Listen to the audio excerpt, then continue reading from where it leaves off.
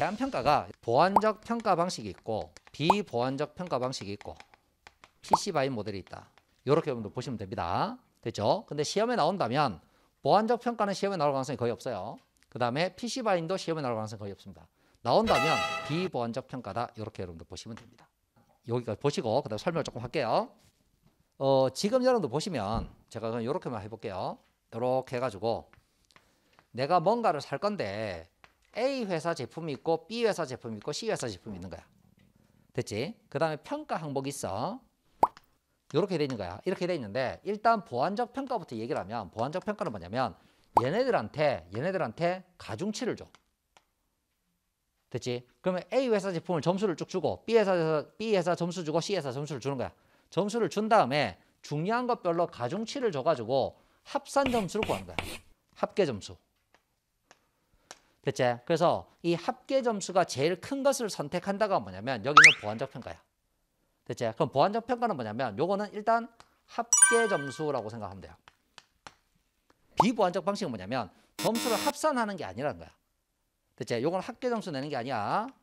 요거는 합계 점수를 내는 게 아니라 계산하는 방식이 네 가지가 있어. 첫 번째 사전 편찬식이 있고 그다음에 두 번째 뭐가 있냐면 순차 제거식이 있어요. 세 번째가 결합식, 그 다음에 네 번째가 분할식이 있어요. 시험 문제 실제 나오면 어떻게 나오냐면 사전 편찬식으로 했을 때 뭐를 선택하냐?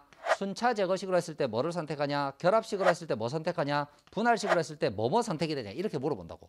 자, 그럼 첫 번째 사전 편찬식부터 보세요. 고객이 가장 중요하다고 여기는 평가 기준에서 최상으로 평가되는 브랜드를 구매한다 이렇게 되죠. 그래서 이거를 여러분들한테 보여주기 위해서 앞쪽에다가 제가 뭐 숫자를 좀 써볼게요. 자, 보시면 자 이렇게 할게요.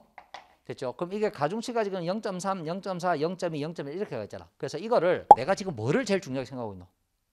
어, 무게를 제일 중요하게 생각하고 있지. 요게 1등이 되는 거야. 됐지? 그러면 여기 있는 사전 편찬식은 뭐냐면 내가 제일 중요하다고 생각하는 것에 1등을 뽑는 거야. 됐나? 그러면 지금 내가 뭐가 제일 중요하다고 보고 있어? 무게가 제일 중요하다고 보고 있지? 그럼 무게는 B하고 C가 제일 좋잖아. 맞지? 어, 그런데 두 개가 두 개를 다 뽑을 수는 없으니까. 됐지? 그럼 두 번째로 중요한 게 뭐고? 두 번째로 중요한 게 AS지. 그럼 AS는 B가 좋아, C가 좋아? C가 좋지. 그럼 나는 뭐 선택하는 거야? C를 선택하는 거야. 이해되셨습니까? 됐죠? 그래서 이거는 중요한 순서대로 1등 뽑아가지고 선택하는 거다. 이렇게 보시면 됩니다. 됐죠? 이게 사전 편차식. 자, 그 다음에 순차 제거식 보세요.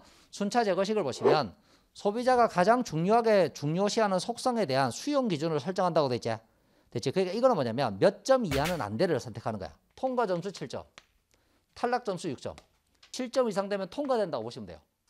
7점 이상 통과. 그러면 첫 번째 거 봤을 때 7점 이상 뭐야? 요거 두 개제?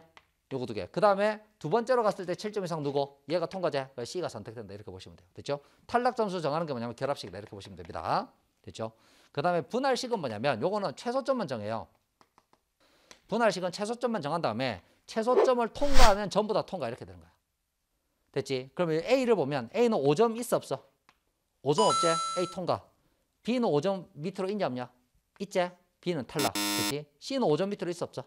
통과제. 그러면 A하고 C가 통과되니까 요거 세, 요거 둘 중에서 아무거나 사면 될 것 같습니다라고 보고를 올리는 거야. 됐죠? 그래서 요거는 결과가 뭐로 나온다? 복수 선택이 나올 수 있다. 이렇게 여러분들 보시면 되는 거죠. 되셨죠? 이렇게 보시고 PC바인 방식은 이 사람이 가지고 있는 내부적인 어떤 거를 자꾸 계산을 하라고 하기 때문에 이건 잘 안 나온다 이렇게 보시면 됩니다. 됐죠? 다른 정도 알고 계세요.